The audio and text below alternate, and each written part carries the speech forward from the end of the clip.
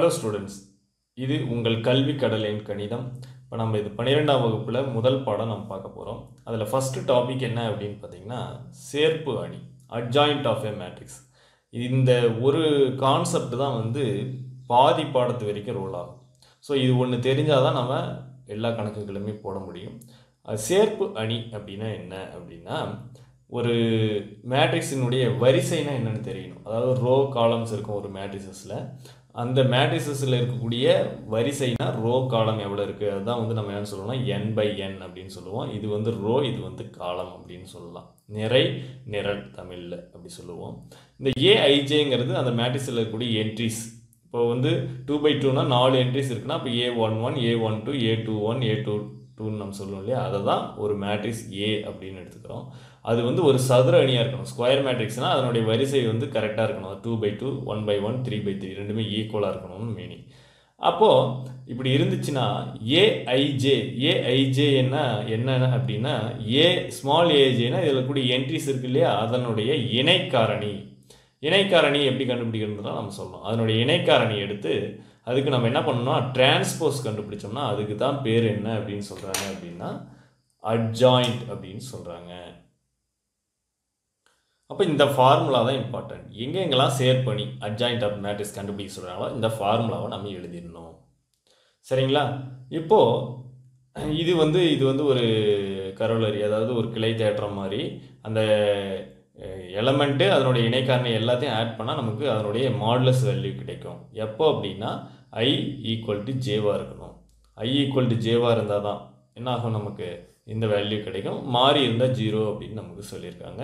சரி நம்ம இப்போ சேர் பண்ணி ஒரு ரெண்டு பை ரெண்டு அணிக்கு எப்படி கண்டுபிடிக்கிறது? ஒரு மூணு பை மூணு அணிக்கு எப்படி கண்டுபிடிக்கிறதுன்றத பார்க்கலாம்.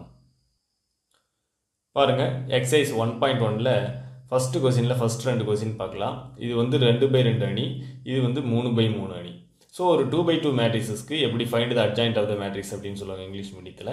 அப்போ அது எப்படி கண்டுபிடிக்கலாம் அப்படின்னு பார்த்தீங்கன்னா இப்போ இது ஒரு மேட்ரிக்ஸ் கொடுத்துட்டாங்க. அந்த மேட்ரிக்ஸஸ்க்கு நம்ம என்ன நேம் வச்சுக்கலாம்?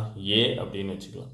இப்போ அட்ஜாயின்ட்னா ஒரு டூ பை டூக்கு மட்டும் ஒரு ஷார்ட்கட் இருக்குது ஈஸியாக எப்படி சொல்லலாம் அப்படின்னா இது வந்து டயகனல் அப்படின்னு நம்ம சொல்லுவோம். லீடிங் டயகனல் அப்படின்னு சொல்லலாம். இது செகண்டரி டயகனல் அப்படின்னு சொல்லலாம். இந்த லீடிங் டயகனலை என்ன பண்ணுன்னா பாருங்கள் லீடிங் டயகனல் செகண்டரி டயகனல் ஏன்னு நேம் வச்சுக்கிட்டோம். இதில் என்ன பண்ணணும் இது ரெண்டுத்தையும் இடத்த மாற்றிக்கணும் இது ரெண்டுத்தையும் என்ன பண்ணணும்? இடத்த மாற்றிக்கணும் மாற்றும் போது என்ன ஆகுனா டூ மைனஸ் த்ரீ பிளேஸ்க்கு வந்துடும் மைனஸ் த்ரீ டூ பிளேஸ்க்கு வந்துடும் பாருங்கள் இடம் மாறிடுச்சா இங்கே? அடுத்தது என்ன பண்ணணும்? அந்த செகண்ட் டயகனலுக்கு குறியை மட்டும் மாற்றணும் இங்கே பார்த்தீங்கன்னா ப்ளஸ் சிக்ஸ் ப்ளஸ் ஃபோர் இருக்கிறது தான் மீனிங் அப்போ என்ன ஆகிடும் மைனஸ் சிக்ஸ் மைனஸ் ஃபோர் என்ன குறி இருக்குதோ அதை அப்படியே மாற்றிக்கணும் மைனஸ் சிக்ஸ் மைனஸ் ஃபோர் அவ்வளோதான் அதாவது ஒரு டூ பை டூக்கு ஒரு அட்ஜாயின் கண்டுபிடிக்கிறது இவ்வளோ தான் ஷார்ட்கட் இந்த ஷார்ட்கட் போட்டாவே போதும். இது வந்து டூ மார்க்லேயே த்ரீ மார்க்லேயே கேட்க போகிறதில்ல இது யூஸ் பண்ண போகிறோம் நம்ம போடும்போது. ஸோ அதனால் ஃபஸ்ட்டு அந்த லீடிங் டயகனலை இன்டர்சேஞ்ச் பண்ணணும். செகண்டரி டயகனலை சைனை சேஞ்ச் பண்ணணும். இதை மட்டும் நல்லா ஞாபகம் வச்சுக்கோங்க. இவ்வளோ தான் டூ பை டூக்கு சேர் பண்ணி. அடுத்தது என்ன அப்படின்னா த்ரீ பை த்ரீக்கு எப்படி சேர் பண்ணி கண்டுபிடிக்கிறது? இதுதான் ரொம்ப ரொம்ப இம்பார்ட்டண்ட்டே ஏன்னா இது தெரிஞ்சால் மட்டும்தான் நம்ம எல்லா சமமே போட முடியும். இப்போ பாருங்கள் இதுதான் வந்து ஒரு த்ரீ பை த்ரீ ஒரு மேட்ரிக்ஸ் கொடுத்துட்டாங்க. த்ரீ பை த்ரீனா பாருங்கள் மூணு ரோ மூணு காலம் இருக்குது ஸோ இதை எப்படி நம்ம யூஸ் பண்ணலாம் அப்படின்னு பார்த்தீங்கன்னா ஏன் நேம் வச்சுக்கலாம். எந்த ஒரு அணி கொடுத்தாலும் ஏன் நேம் வச்சுக்கோங்க. இதில் பார்த்தீங்கன்னா சென்ட்ரல் எலமெண்ட் எதுனா இது.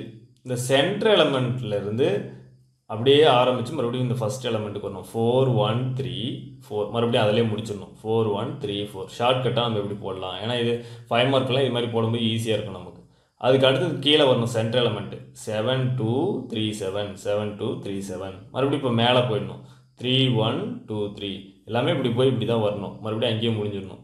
த்ரீ ஒன் டூ த்ரீ மறுபடியும் இந்த சென்டருக்கே வந்துடணும். ஃபோர் ஒன் த்ரீ ஃபோர் அல்லது இந்த ஃபஸ்ட் எடுத்து அப்படியே எழுதிக்கலாம்.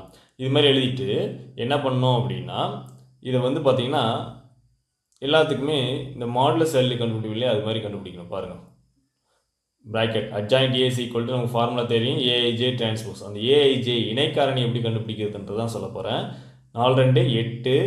இப்படி குறுக்கில் பெருக்கும்போது மட்டும் ஒரு மைனஸ் போடணும். Eight minus seven three minus six இருபத்தொன்று மைனஸ் ஏழு இருபத்தொன்று மைனஸ் பன்னிரெண்டு. அதே மாதிரி அடுத்து இது ரெண்டுத்துக்கு வரணும். ஏழு மைனஸ் ஆறு நாலு மைனஸ் மூணு ஒன்பது மைனஸ் பதினாலு. அடுத்தது மூணு மைனஸ் நாலு மூணு மைனஸ் ரெண்டு எட்டு மைனஸ் ஒன்பது. So transpose is equal to இப்போ இது சிம்பிளிஃபை பண்ணி நம்ம டிரான்ஸ்போஸ் கண்டுபிடிக்க போகிறோம் அவ்வளோதான் பாருங்கள் eight minus seven one three minus six minus three twenty one minus twelve nine இது எல்லாத்தையும் சிம்பிளை பண்ணி டிரான்ஸ்போஸ் எடுக்கணும். டிரான்ஸ்போஸ்னால் என்னென்னா நிறையும் நிரலையும் இன்டர்சேஞ்ச் பண்ணிக்கணும். இது நிறை இது நிரல். ரோ காலத்தை இன்டர்சேஞ்ச் பண்ணிக்கணும். அப்போ ஒன் மைனஸ் த்ரீ நைன் வந்து இங்கே வந்துடும் அடுத்து one one minus five minus one one minus one so இதுதான் என்னென்னா ஒரு த்ரீ பை த்ரீ கொடுத்தாங்கன்னா அந்த மேட்ரிக்ஸ்க்கான ஒரு அட்ஜாயிண்ட் ஸோ ரொம்ப சிம்பிள் அண்ட் இம்பார்ட்டண்ட் இது தெரிஞ்சால் மட்டும்தான் நம்ம அடுத்தடுத்த செம்மே போடவே முடியும்.